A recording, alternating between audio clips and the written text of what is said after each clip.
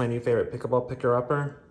So what it does is if you have a bad back or something, what this allows you to do is if a ball after while you're playing is on the ground, instead of reaching down and hurting your back, you can just put this on the end of your racket and then reach down with this and just pick it up with the, the bottom of your racket. And it stays on very well suctioned, but all it takes is just pulling it off the back. And now you can pick up the ball anytime you're on the court without reaching over all the ground.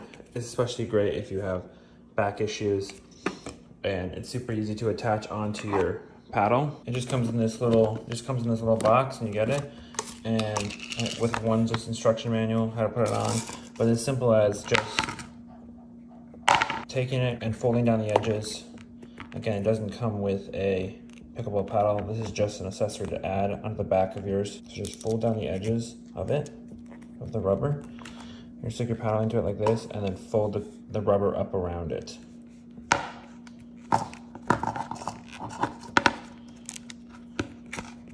Like so. And then you just push it in and then you have it secured on the back. It does change the weight of your paddle a little bit because it'll be a little heavier on the bottom. So it might be a little different and take some time to get used to. But it's super handy if you don't want to reach down, especially if you play a lot. And it's easy as just pushing down on a ball and be able to pick it up. You can just walk around normally and it's not going to come out. It's pretty secure in there. So yeah, I definitely recommend this. And this is my new favorite way to retrieve pickleballs.